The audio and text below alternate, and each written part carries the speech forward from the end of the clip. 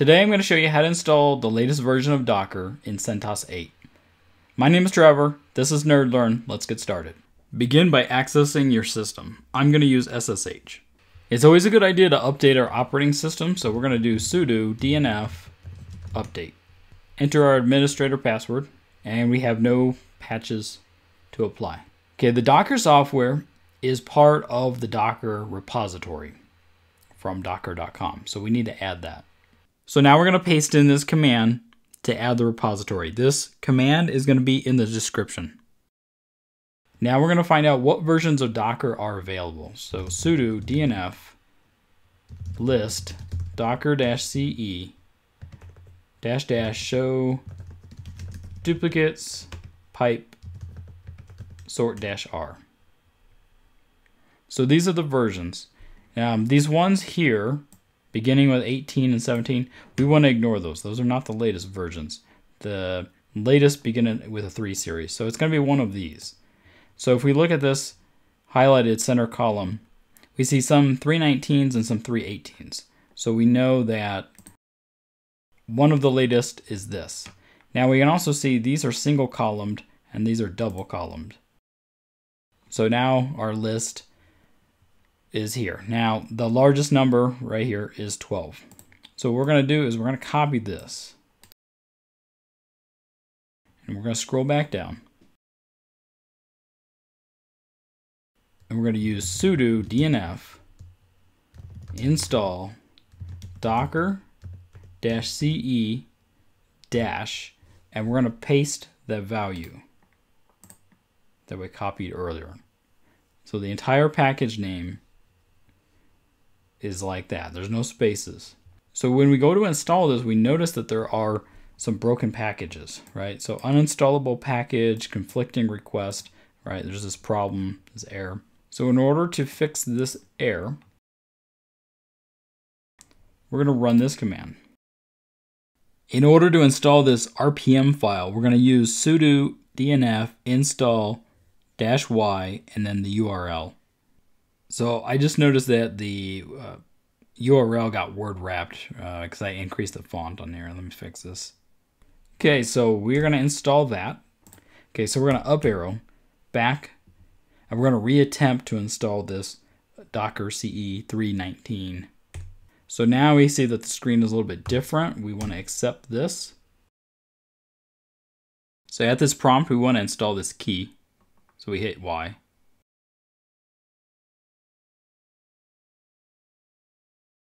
So as you know, we had some dependency issues earlier. So we're going to update an operating system or we're going to have it check one more time just to make sure that everything's that everything's cool. All right, same command as before, sudo dnf update. We're going to check the status of the Docker service by running sudo systemctl status docker.service.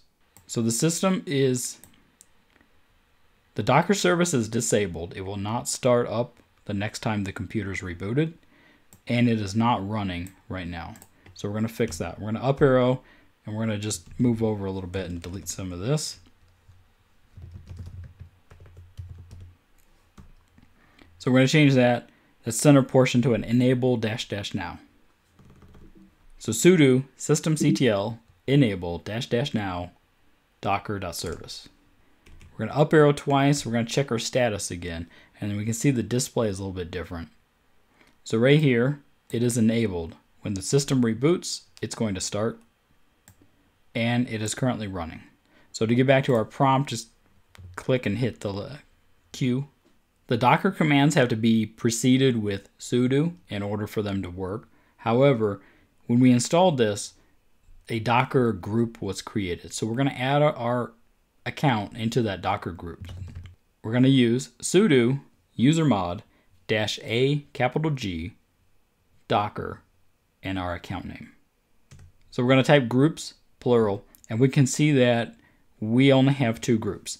It does not appear that this docker group has been added. So this is only applied on a new login session. So what we're going to do is we're going to exit. We're going to up arrow it back into our SSH command and we're going to hit enter, type in our administrator password. Now we're going to type groups, and now we can see that Docker has been added. So we know that the Docker service is running. So to help validate it, we can type docker-v, and this is going to sh show the short version of what Docker CE we have installed. If we want to see more information, we can type docker and we can spell out version. The previous command had a hyphen, this does not have a hyphen. So docker version, and we can see just off screen here, this is the client version that's running on this on this computer. And this is the server version. So now Docker is running and functioning. So now I'm going to install four Docker containers. One is CentOS, a Ubuntu, a Splunk environment, which is running on Red Hat. Splunk is a security tool. It's used um, in enterprises to pull all your logs in one spot for security. And then to have a little bit of fun, we're going to put a Minecraft server. So that Minecraft server requires the internet to work. And so I'm going to show you what it looks like when it has a DNS problem and then how to fix it. I'm not getting into all the specifics right now of the Docker commands that I'm using for the Ubuntu and the Minecraft server and such. Uh, but the main takeaway that I want you to have is that they can be business or they can be fun. Uh, some are going to be local and they don't require the internet, and then others do require the internet. So first we're going to start with the CentOS system. This is the current computer. So I'm going to I'm going to show the IP address of the current computer. So IP A and the current computer has a 10.10.2.100 IP address. We're going to download the latest version of CentOS is provided by CentOS over to Docker Hub. That's where we're going to pull it from. I meant to declare a name for the Docker container, but uh, a random one was chosen for me instead. Docker PS is going to show us the container names that are running. And we're going to see that the name is here. Uh, it's a little difficult to read because of the word wrap. Inside of our container, we're going to execute bash. To do this, we're going to use docker exec dash ti our container name. We got to make sure we spell it correctly. And then the executable that we want. So we want bash. So we notice that our prompt changes, and if we do IPA, we can see that we have a different IP address, this 172.17.02. So one of many ways of checking the operating system of the container is this cat slash etsy slash os dash release. Right here, we can see that we're running CentOS 8 inside of this container. We're going to exit out of this CentOS container. And now I'm going to spin up a Ubuntu system.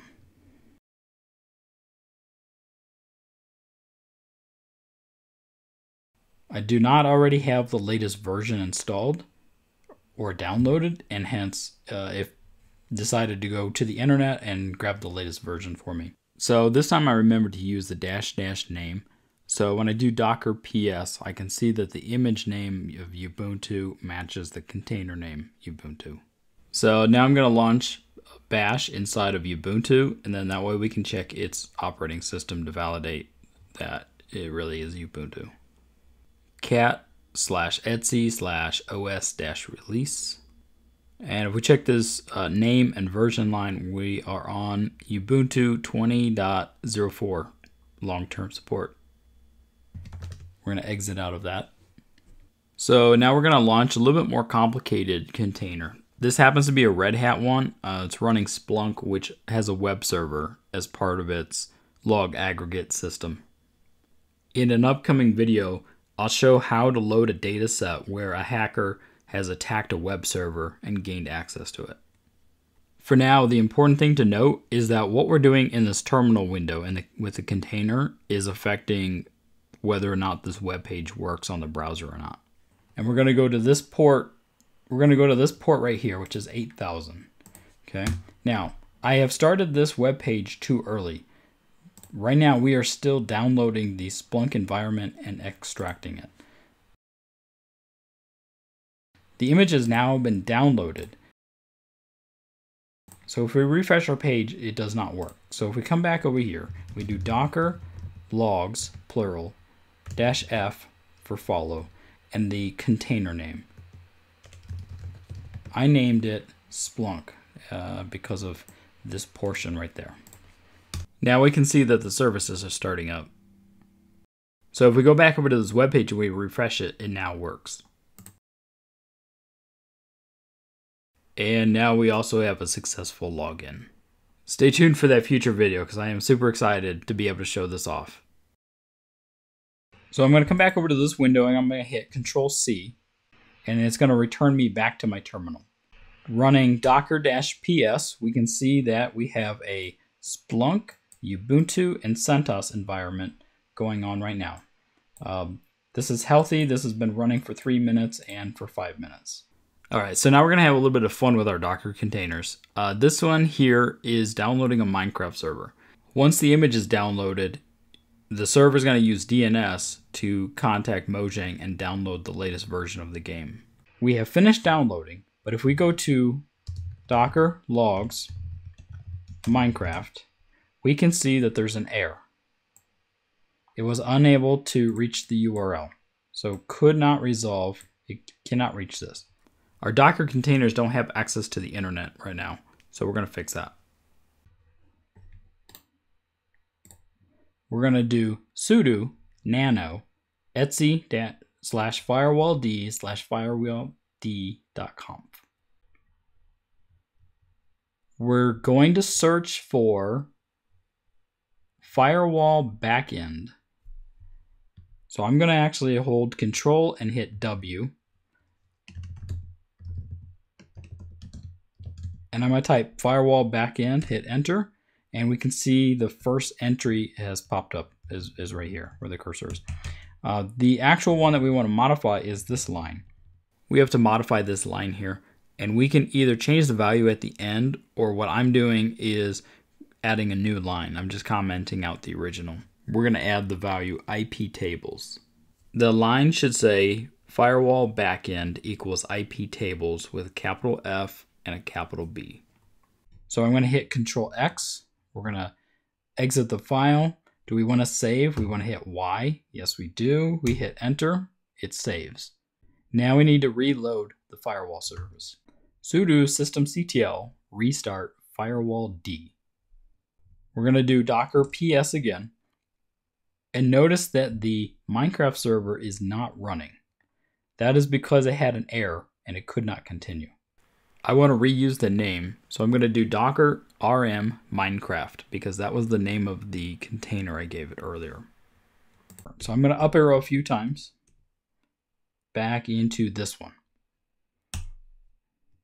Now I'm going to do docker logs dash f minecraft. And we can see that the we are farther. So it has contacted Mojang. It's actually downloading information from Mojang in order to get the latest code. So we're running on the latest snapshot because we told it to run the latest. Um, it can be changed, and again, that will not be covered in this video, but there will be dedicated videos, each one for Minecraft, Splunk, and so forth.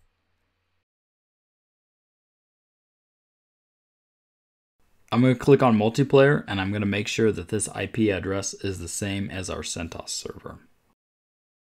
Now we click play and we can see that our world is actually loading.